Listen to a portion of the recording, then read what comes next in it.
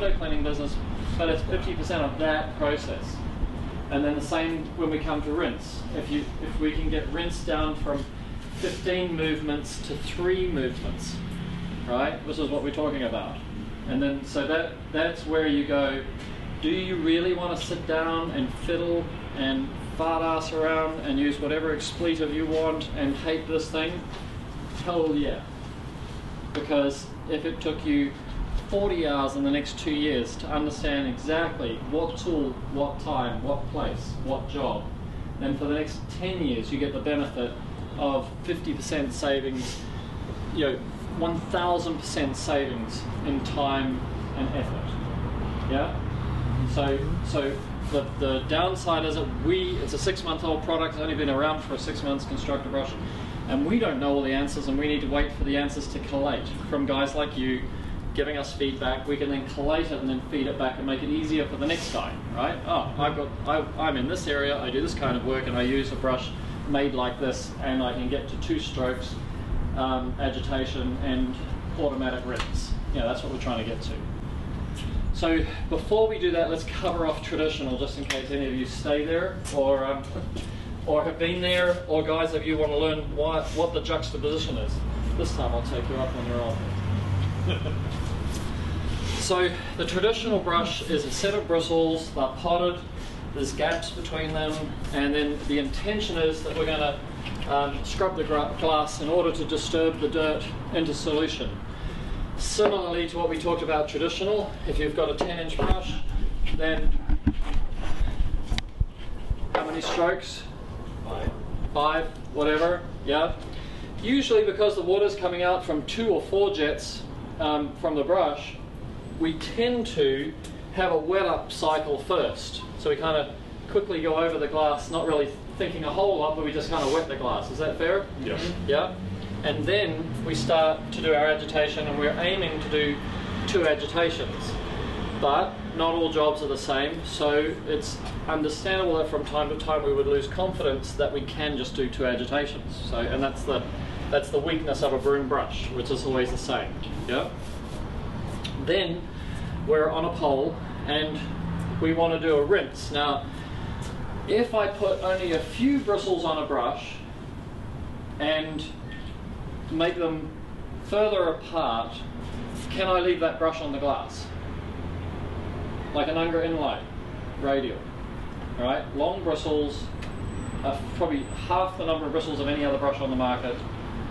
Yeah, so you can basically leave that brush on the glass because the, the, the intention of their design is that if there are not many bristles and they're a long way apart, then whatever water is in there maybe can clean that brush, hmm. right? But what's the weakness of not having so many bristles?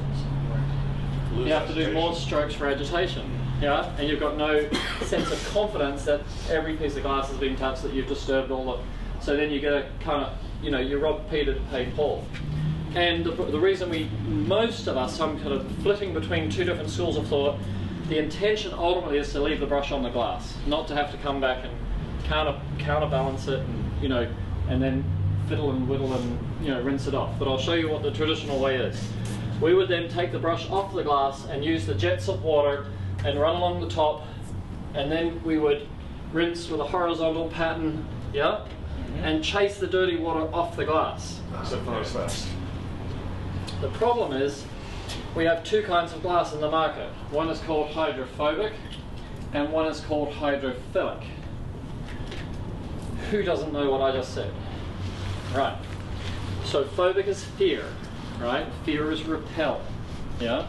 So if you get hydrophobic glass, it will repel the water. It will bead, like almost immediately. As soon as the jet of water hits the glass, it'll start calling, causing little rivulets and bead, and the water will bead right? And hydrophilic glass, philic is love, actually, right? It's a really weird word, you know. Philanthropist. huh? Philanthropist. Philanthropist. There you go. Thank you. From my wordsmith. so, if you have the philic, it kind of allows the water to laminate on it, right? So it sheets. So you've got beads and sheets. Hmm. That's the kind of you know simple method, you know, of, of remembering. So, if the water sheets, and then the water, you, you have that, then the water will run down a long way before it starts separating. There's one more if you guys end up doing that. So, so basically, when the water, and we'll show you when we hit these, this other glass, you know, around the corner as to whether it's hydrophobic or hydrophilic, but you'll know, Yeah. right? It hits the glass. Now, these are pencil. These are called pencil jets. There are two kinds of jets: pencil jets, fan jets.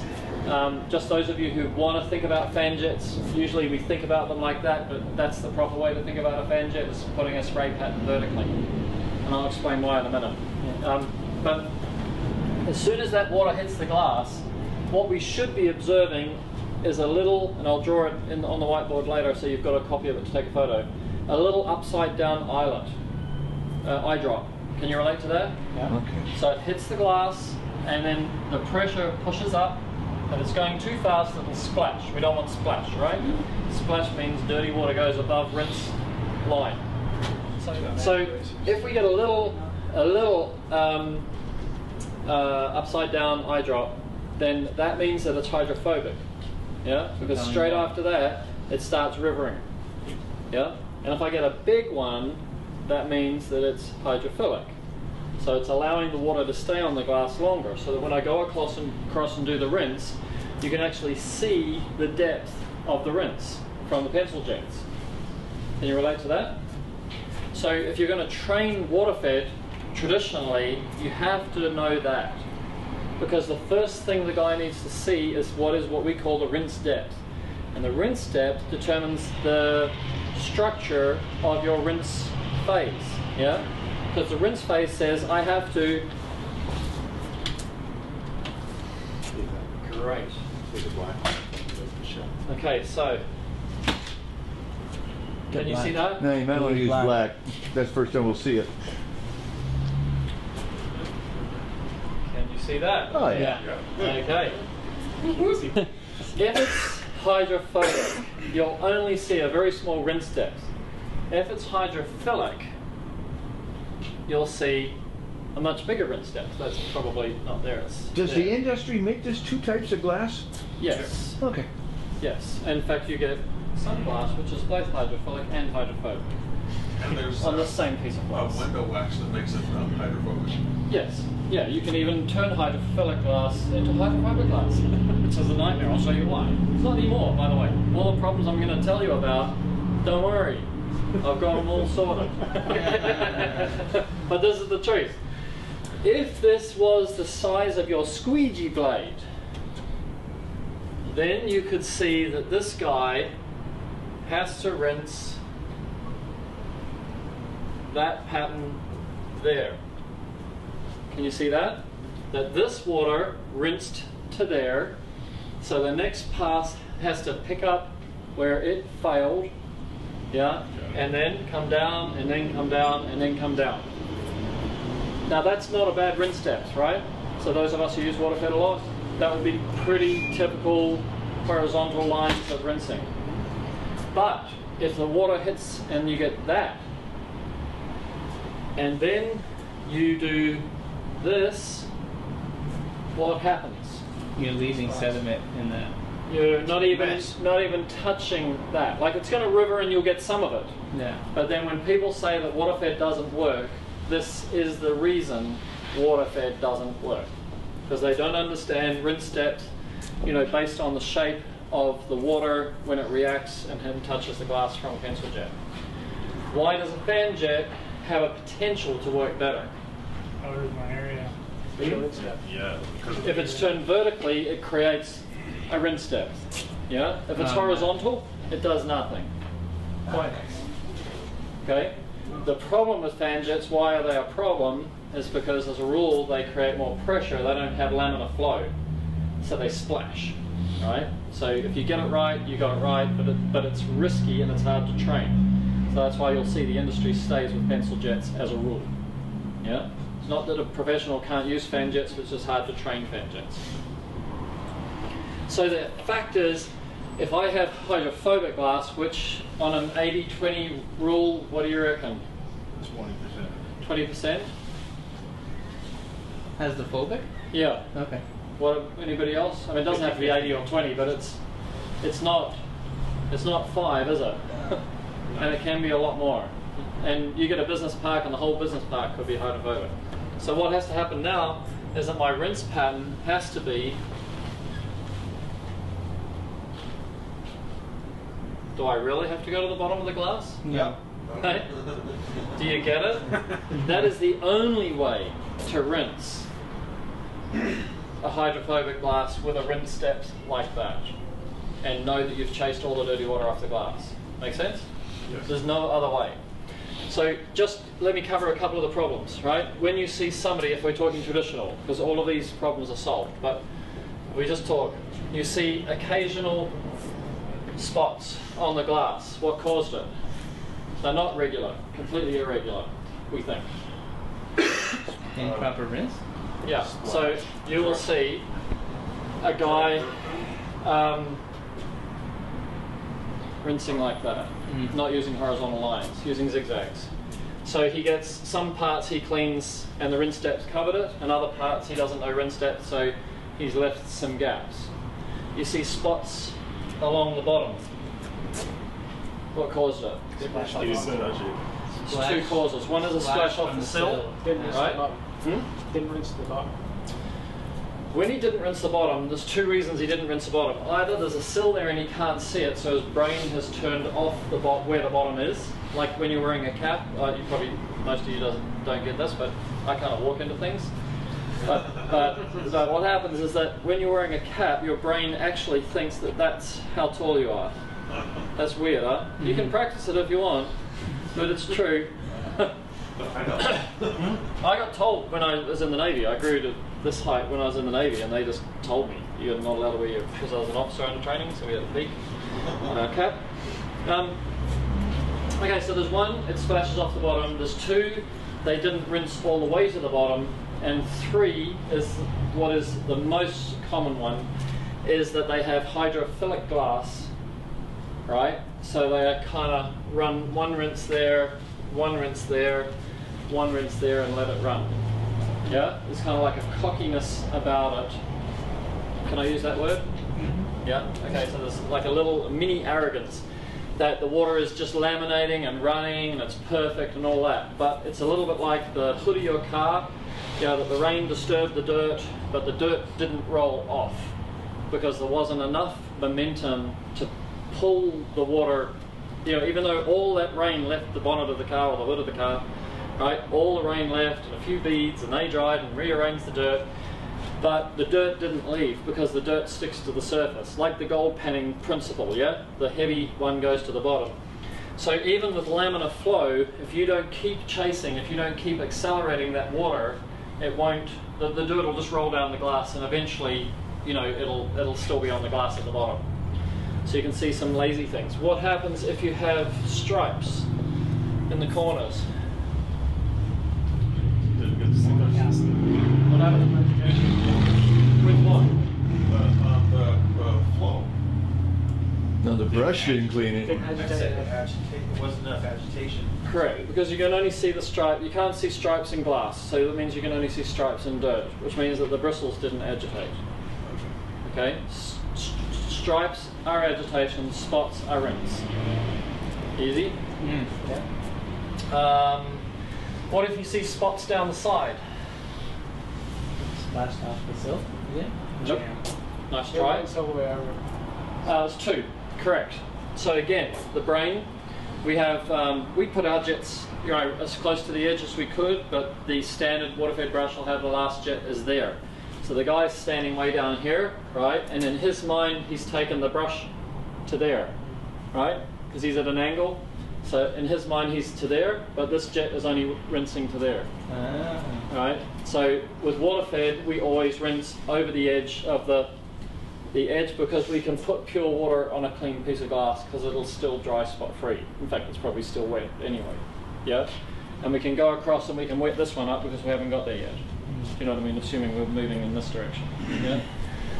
So one is that we didn't edge to edge, and the second one is no, because that would be consistent. Oh, well, I was thinking pulling dirt from under the seal. Seal. seal. That's possible. Yes. Not the not the most likely, but definitely possible. There's another one is the silicon leach, right? That, that, see, all the all the big big American lunches are starting to take effect. all the boys are getting sleepy. right. So um.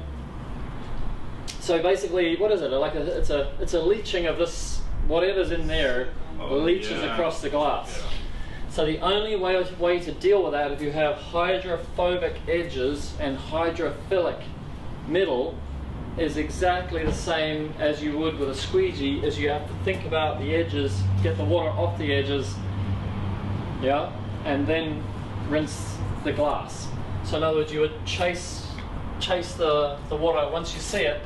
You deal with the edges separately, and then you do your rinse pattern right? Because it's incredibly hydrophobic when it's like that. So it's really, really likely to spot. Yeah, because the water, the water almost. Some places I've got a video which we've got on uh, somewhere on our line online which shows the water hit and and river like it doesn't. There's not even a shape. It's like crazy, crazy. So that's often what when that silicon is sitting in there. Okay, what other problems can we have? What if you had a streak coming down? All streaks. We haven't talked about streaks. We've talked about stripes. We've talked about spots, but we haven't talked about that horror. That's Okay. when, uh, uh, get the water too wet and then it, it dribbles down. Correct. So what's what's actually causing that, and why is it there? The water gets behind the seal, and then you understand there. So Right. There's a failed seal. Yeah. So the seal, instead of being flat and flush on the glass, it's got a kink in it, and then there's a hole. So remember we talked about the shape of a of a water bubble, and we're saying the surface tension is what's holding the water bubble together. Then when you're up here, if you look at it side on, the the glass is here, and the seal is like that. Yeah. So there's some sort of gap in the seal. It should be going to the glass and sealing on the glass, but in this little place here, it's not. And so in here, there's a, a water bubble, right, of water. In there is horrifically dirty, right? And then this, the surface tension of that water is able to hold it reverse suspended, you know, hanging onto itself, and then it dries like this. And at some point, the surface tension is no longer sufficient to hold the water. At that point, maybe after you've left the job. This glass is all dry. This fella here, he's gone. He's gone to nothing, and you've, you're a happy customer, and then down it drops. Yeah, and usually that's a big a big one, but water can do that. Water's strong, you know, can hold a lot of a lot of its own weight, and then down it drops. You're a professional window cleaner. You should spot that seal. You should spot it. You should train your guys to. As soon as you see one, you take your guys over and you say, "You see that? That's where it's going to streak." That's the only. The first and most important answer is look for it. Just like we say, look for the rinse steps if you're going to use pencil jets. Yeah, there are things to have your attention on that will ultimately save you time. Once you know it's going to streak, you've got options, right? So one option is Dry the edge. dry the edge. Yes, And rinse agitates the heck out of that kink area. it's hard. It's a nice thought, but it doesn't work. Yeah, you kind of think you could get the bristles up under there and clean it all out, so it's only Don't pure water as up in high. there. And that happen, huh? Don't go as high. Correct. Like one is that we we can go to two steps, or do you go to two, or do you do it with one? You just leave it. If, it, if there's no window above it, then I will brush. He just won't even go there. Water off of the top sill. Yeah. So he just leaves that, which is kind of sacrilegious, but it works because in his experience, customers don't look up there and to check it. You know, if it was horrifically dirty, of course you would, because that's the thing. Then you would go to Frankly, a you're not even leaving a line on it. right. Because your bristles are still hitting it, but you're just careful not to get water on it. You just don't want water in there. And then the other one is that you you basically you're on two stage. You you you wash the frame and that area, you know, down to about there, and then you work your way around, and then you come back and you do the rest of the window, and you don't you don't go near there. I mean, whatever it is, you got to keep that dry. The third one is if it's completely everywhere, is use a squeegee. You know, for example you know, so you've got to think through. But the the point from a water fed perspective is to notice it. What do we do when it does streak if we didn't notice it? You do the same as me. Touch it up. Touch it up, wrap a microfiber around your tip of your pole, and just go clean it up. There's no big problem. So if you know that it's a hot summer's day and all of those streaks are going to drop before you leave the site, that's another way to do it. It's just operate as normal and then say we're going to, it's the 80-20 rule, we know we've got a problem coming, right? We go back and clean up the problem. Yeah? That's more of an issue in commercial glass with the seal Yes, because they have the yes. rubber seal.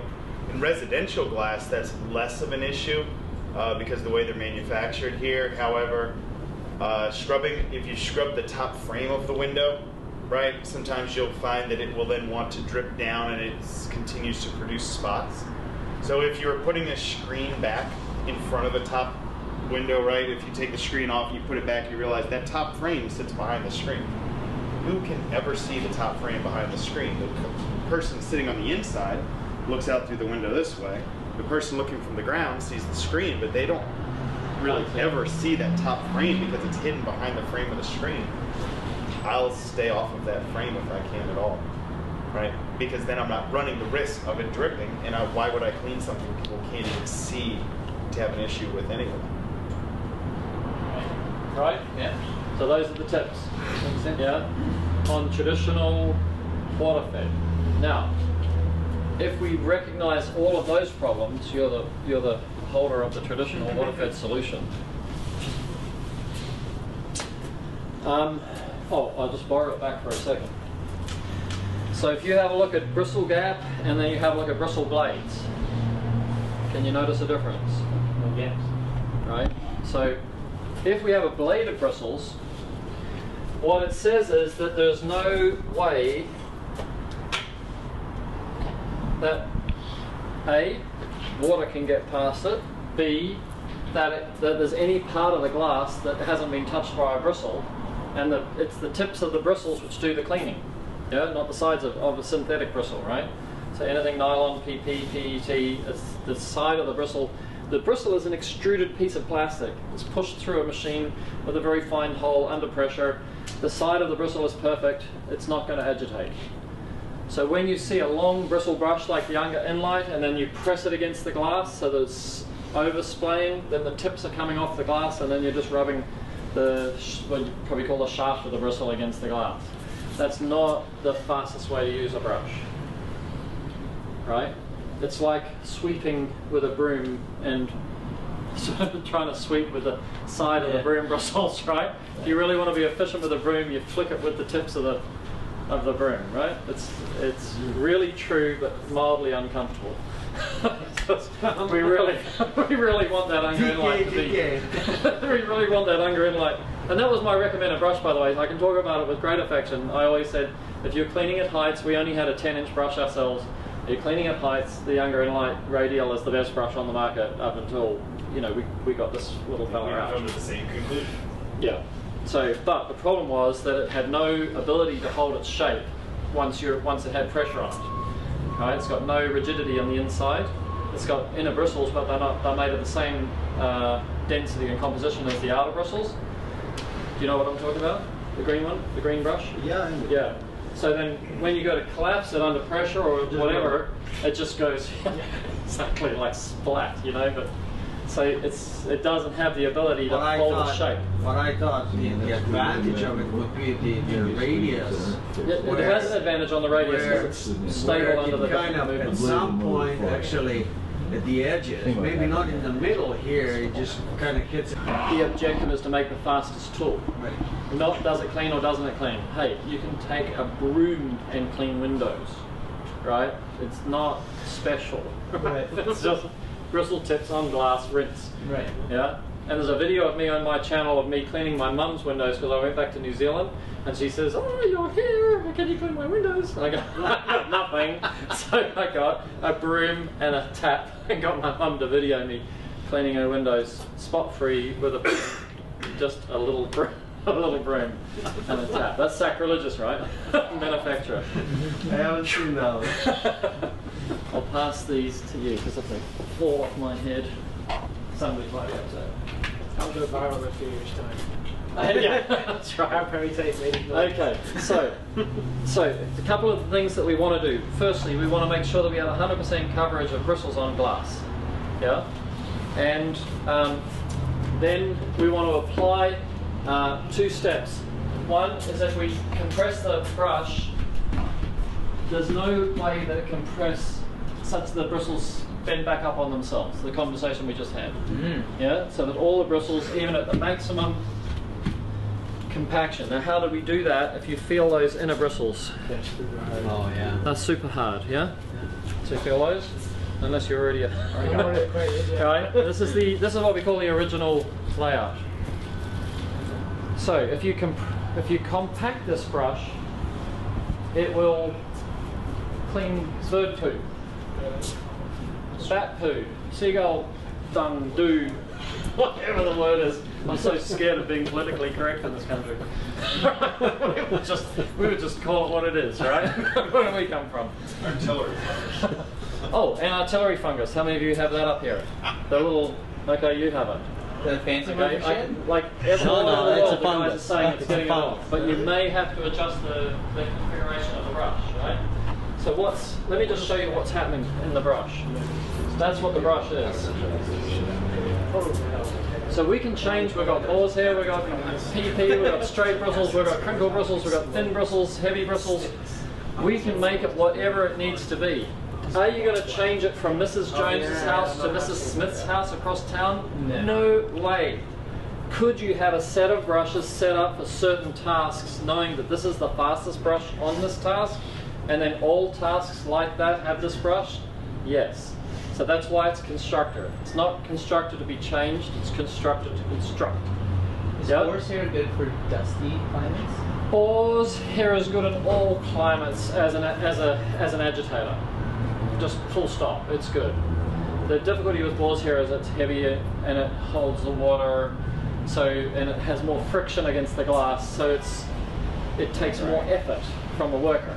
And So it's, uh, challenging to get into corners real well. yeah, yeah. So there's there's What I understand is uh, the side of the bristle is not the bristle tip. You can use the bristle tip, of course, because it's a tip, but also you can use the side of the bristle. Yeah. So if you look at the way we do it, maybe George, are you here? Just coming out. George, could you look see if there's a bristle, a blade of boar's hair in there somewhere? It doesn't matter if it's not. So here's the thing: if we have, and can you bring that 12 inch? Hmm. I have a 12 inch here. Okay, so let's say this is a different configuration of brush, but if you're thinking agitation strokes, right? Oh, the first step of agitation was to wet up the glass. Wet it up. What if it's already wet? So what if with a rinse bar we can say the first stroke is already wet? Then out of our three strokes, two agitation strokes, so one wet up and two agitations, what if we can immediately change the way we think and remove the wet up? Because you can. On, on the first stroke up, the glass is wet. Yeah? Now you have a look and say, okay, if I use a 12 inch brush, one, two, three, four, and maybe we'll double up there. Yeah? Or we go one, two, three.